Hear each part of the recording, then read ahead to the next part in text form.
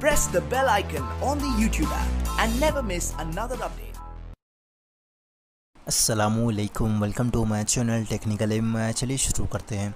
तो दोस्तों, आज की इस वीडियो के अंदर मैं आप लोगों को दिखाने वाला हूँ कि अपने गूगल कीबोर्ड यानी कि जी बोर्ड में टाइपिंग साउंड ऑफ़ कैसे करें। तो इसको ऑफ़ करने के लिए आपको कीबोर्ड पे ऊपर की तरफ़ सेटिंग्स वाले आइकॉन पर क्लिक करना है।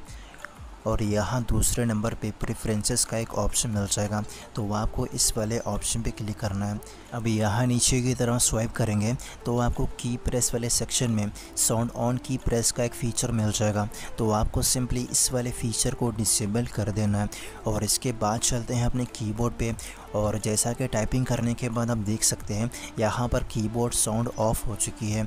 अगर आप एंड्रॉयड के और भी टिप्स एंड ट्रिक्स की वीडियोज़ देखना चाहते हैं तो मेरे चैनल के प्लेलिस्ट में आपको useful mobile tips and tricks का ऑप्शन मिल जाएगा, जहाँ पर आप मेरे दूसरे वाले वीडियोज़ भी देख सकते हैं, जहाँ पर आपको एंड्रॉयड मोबाइल के तकरीबन टिप्स एंड ट्रिक्स के वीडियोज़ मिल जाएँगे।